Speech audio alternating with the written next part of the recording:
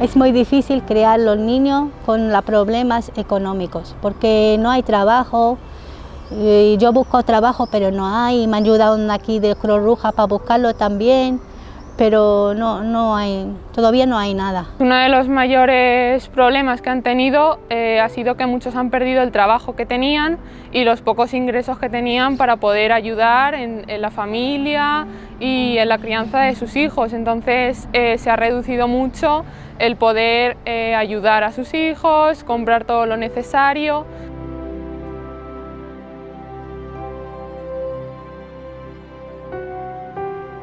Teniendo dificultades económicas criando un niño es un poco difícil porque eh, a, veces te estresas, no sabes si vas a tener para las cosas que necesita, no le puedes dar extras escolares si lo necesitas, si le tienes que dar algún apoyo en inglés o lo que sea, creo que es muy muy difícil el tener una situación económica muy mala.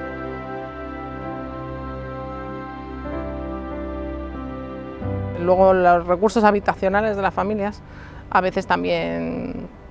son difíciles y mm, por lo general a lo mejor en un piso viven tres familias, con lo cual eh, el espacio común lo comparten pero cada uno vive en una habitación. Eh, esto emocionalmente, tanto a los padres como a los niños, o sea, les ha supuesto un gran trabajo, no poder salir a medio abierto ha sido muy difícil, la verdad. Desde aquí pues intentar apoyar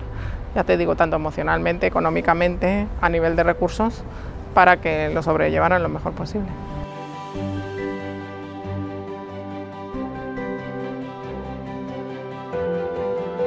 El apoyo que me ha dado Cruz Roja en la crianza de mi hijo ha sido poderle dejar aquí para yo poder buscar trabajo, a la hora de estar trabajando poder tener horarios flexibles para yo poder tener más horas en el trabajo. Pues en este proyecto sobre todo tenemos madres que necesitan conciliar su vida laboral y familiar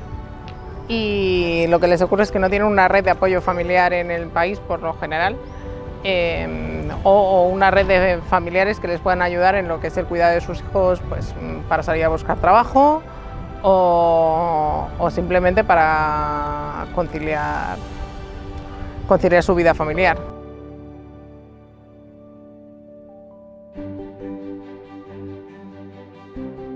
No estoy segura si dejar al niño que eh, juegue con los niños porque hay otras mamás que no quieren que se acerquen a ellos, en plan de gente familiares que le quieren abrazar, pues te asusta un poco porque no sabes de dónde vienen o qué han tocado. Entonces creo que eso para los papás sí nos afecta el estrés de no saber qué hacer en esa situación. Tengo muchos problemas, estoy muy nerviosa, tengo mucho estrés por, por tanta responsabilidad porque soy la única que cuida a mi hija pero yo intento hacer lo máximo posible para que ella no se entere de nada.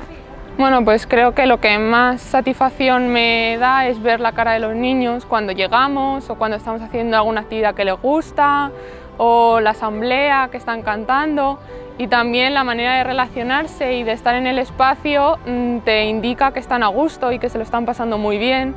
y tienen su forma de demostrártelo y de hacerte sentirte que estás siendo realizada y que lo estás haciendo bien.